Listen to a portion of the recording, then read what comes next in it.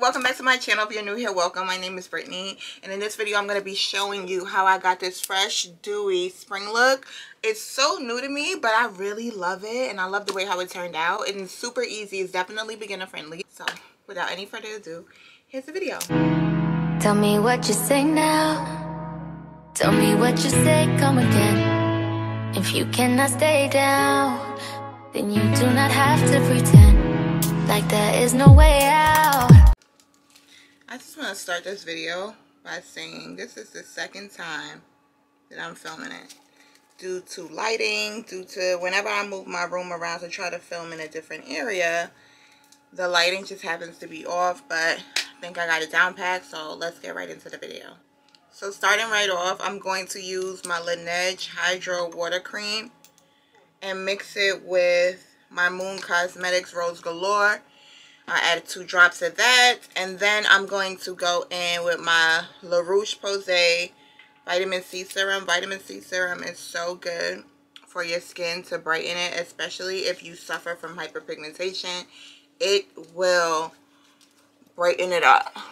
So I mix all that together in my hand and I go throughout my neck and my whole face. So moving right along, I'm going to use my Paula's Choice sunscreen.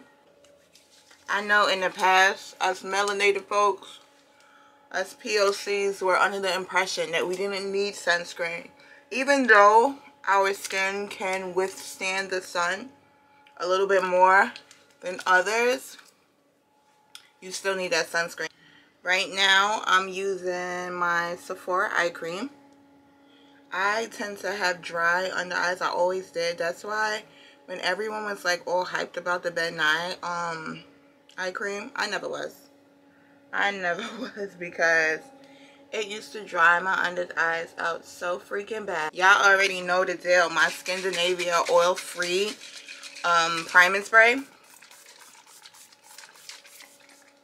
I never really use any other type of primers. And the most I will use is my Becca Pore um, Matte Poreless Primer. But this, honestly, it just does the job. So we're working with more of a dewy type of makeup look today. So you want to make sure that your makeup is setting properly because the natural oils of your face will shine through.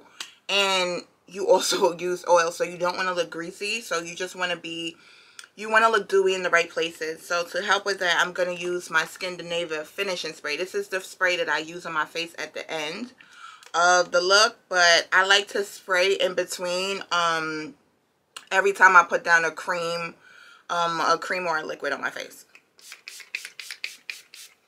They are the Fenty Eaze Drops in the color 16 and 17. If I forget to say something, please don't panic. It's literally in the description bar, y'all. Literally, I promise.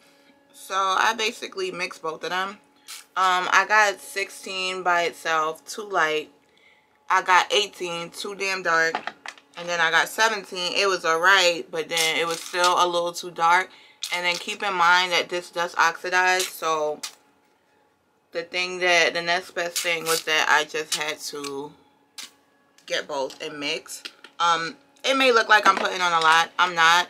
If you know anything about BB creams or tinted moisturizers they are very watery so it's very lightweight so you might have to depending on the um your skin and if you have skin imperfections you might have to go a little bit heavier add more or sometimes honestly that just doesn't work. So what you'll have to do is just go over your imperfections with some concealer because the concealer is way thicker.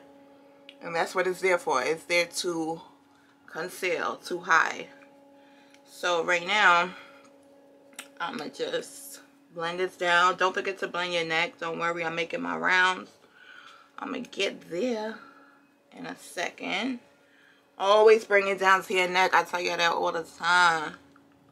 It snitches on you. And if you're a lighter skin tone, then make sure you get behind your ears too. Especially if you're someone who wears your hair in a ponytail a lot. Because, baby, you don't want to be one color and then behind your ear got you looking crazy. Moving along, we're going to go in with the Born This Way concealer in the color Mocha.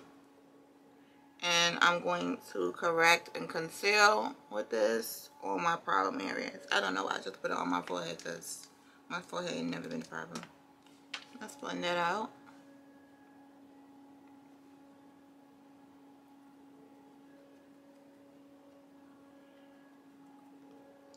My window is open, so I'm sorry if y'all could hear. I don't know what the hell they doing. My neighbors is always doing something, always fixing cars. It's very annoying. Moving along, we're going to go into the Born This Way Concealer in the color Golden Beige. And we're just going to set it down in the areas that we would like to highlight.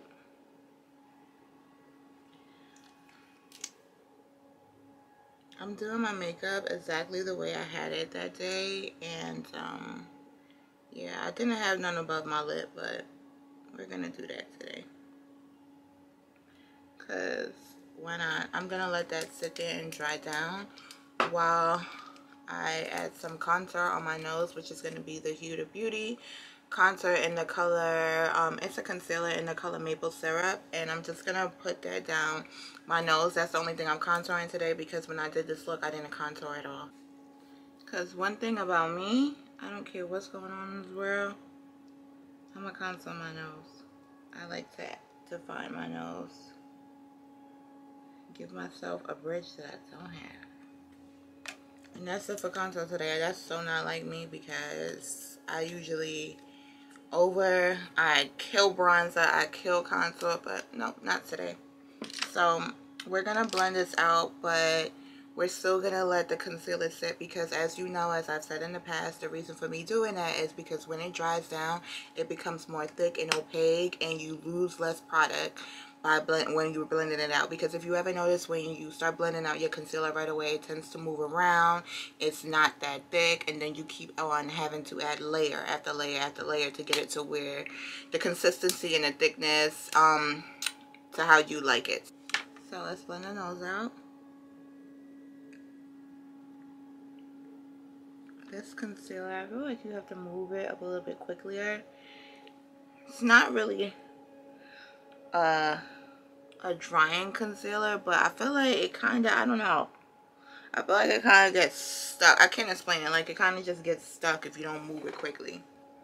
But now that we contour the nose, we blended it out. We're going to blend out our under eye.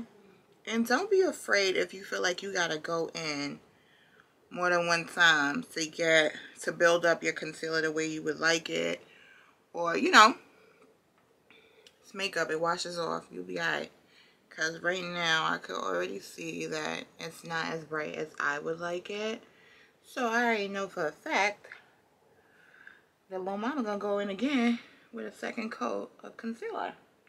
But, I'm not gonna make it like overly bright how I would normally do it. Um, simply because I'm looking for more of a fresh, a fresh look, like a fresh springtime look, like, you know. I'm not trying to do like a mattifying, bright, going out to the club type of a look.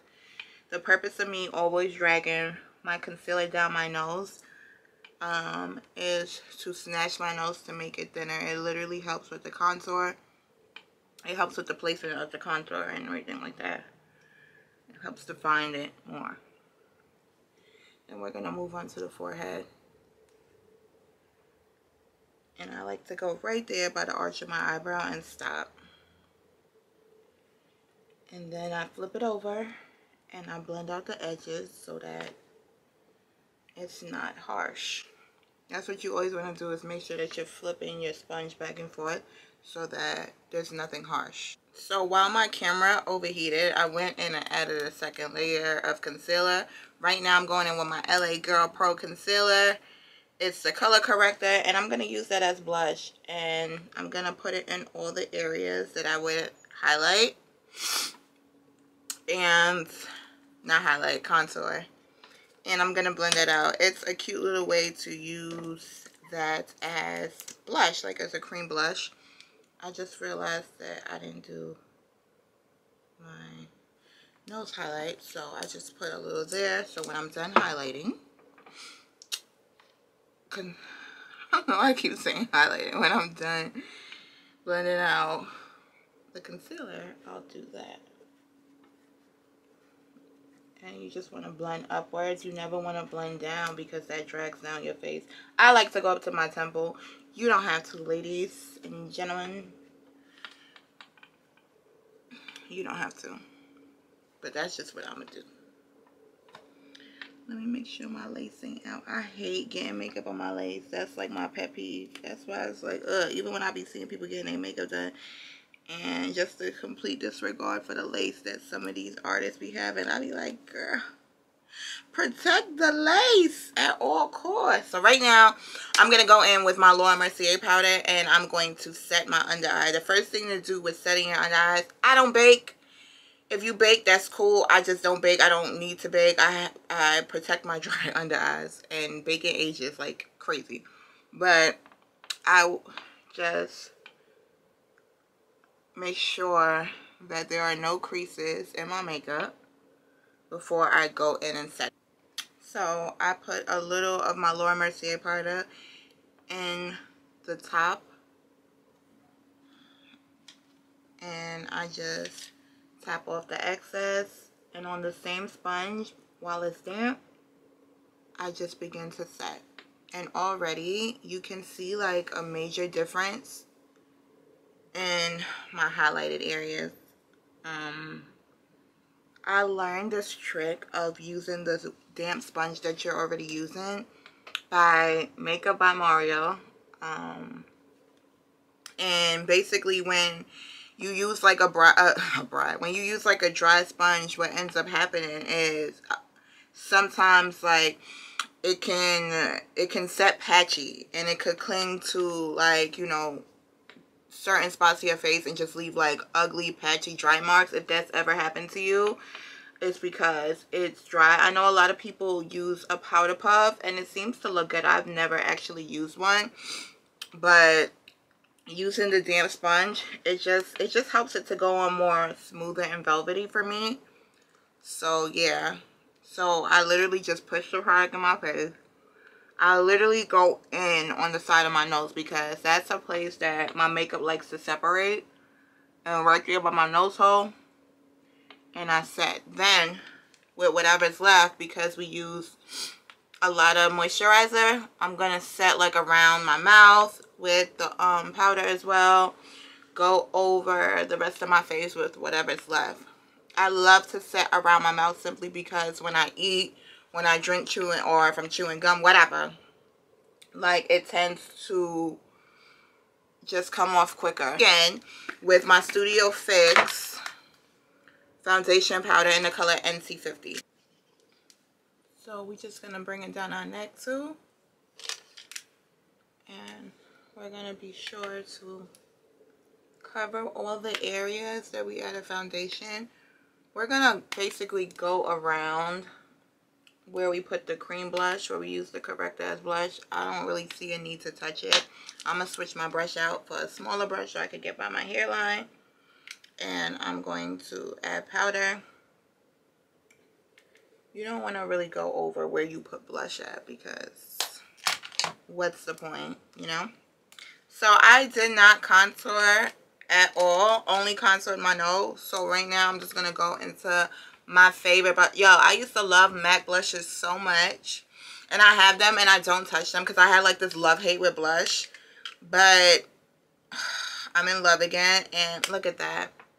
Look how pigmented. These are Sephora blushes. I can't get enough of them. They're dual blushes and they're super affordable. This is in the color Tiger Lily and I used to only focus my blush on the high points on the high points of my cheek but now I bring that bitch down. And I bring it like under my eye a little. A little not a lot. But I just feel like it gives you a pretty flushed fresh color. And I'm bringing it down. And you know feel free to sweep the blush that you already have back and forth as many times as you want just to make sure that it's blended in properly and it's not just sitting there looking awkward. Because at the end of the day, gorgeous, gorgeous girls over blush. Look how pretty that looks. Look how it took my makeup up a level. Like, look how it took it up a notch. So, I'm going to add a little bit what's left on my forehead and then some on my nose. So we're not really using, it's okay to wipe off your brush if you feel like you have too much on your brush. We're not, remember, we're not using bronzer. So this is like basically replacing my bronzer. And it's going to make you look pretty, fresh, awake. So like I said, the only thing we're going to contour is our nose. We cream contour, so now we're going to follow up with a powder contour. I'm going to bring you in. Is that too close? Stop dancing, dancing, close.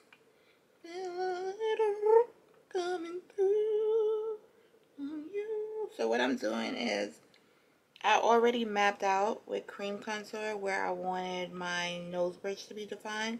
So I'm just circling back up and down in circular motions and then I'm going to, when I get to the top of my bridge, I'm going to connect it to my eyebrow. And that's all we're doing. That's it. So moving along, I'm going to use my same concealer, the Born This Way, and the color Golden Beige as eyeshadow base. Now, don't be talking crap about me because at the end of the day, I already told y'all it's been a while since I've been doing eyeshadows and I gotta get back in the groove of things. So, I'm just basically going to be doing a brown wash on my eyelid. Right now I'm just blending it out smoothly because this is my eyeshadow base. So I'm going to be taking a Morphe M330 brush and the bronzer. I'm going to be taking a Glamour Bronze bronzer and basically I'm just going to tap and pat on the color until I build it up into a color that I like. So just tap and basically you're going to tap on the areas that you want to cover, which is basically the whole lid. But also I'm going to blend it out towards my eyebrow. I see this girl on TikTok do it all the time and my goal in life is to ma master that. So now I'm just going to use circular motions and diffuse all the harsh lines. So I'm just blending this out with another brush from I believe it's from Shop Miss A but I'm just fixing my contour because I don't want it to look harsh or muddy. I love this mascara so much. I don't know. I've tried other mascaras in the past and some of them are really good but I just love this. It's very I don't know how to say it. Like it's very juicy if that's even a thing like it's not like a dry mascara. Some mascaras when you pull it straight out the tube it's it's dried out like like you left the cover off. So these are the lashes in the style Prissy they're very wispy and flirty. So we're gonna just put these on. And they're on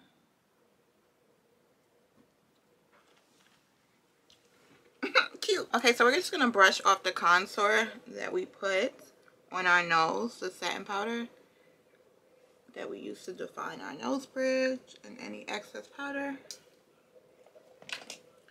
So we're going to be using this lip pencil from Wet n Wild. It's literally like my holy grail. I use it all the time. It's actually an eyeliner but it has such a cool tone. I normally use warm tone browns but it has such a cool tone. I really love it. It's an eyeliner it's in the color think mink. And i'm gonna overline. All right.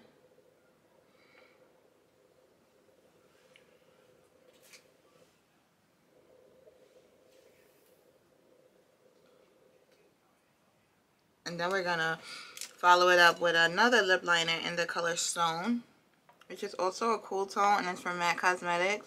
Everything is listed in the description bar.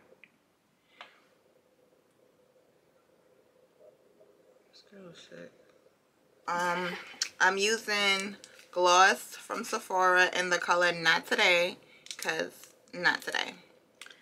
And it's so, so good. It's light and super buttery. It gives you the shine that you want, but it's not like thicky. Thicky. It's not sticky. And I love that for us. Because there's nothing worse than putting on lip gloss and putting on a bunch of it. And then you get like that little white cast when you're talking. Very ugly. So moving along. Ah!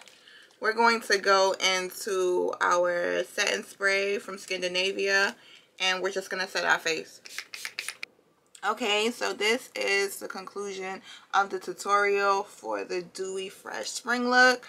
Um i hope you guys love it as much as i love it. It's something different for me and i thought it was super cute and it was super easy to do. It's definitely beginner friendly don't be afraid to tell me what you want to see in the future in the comments.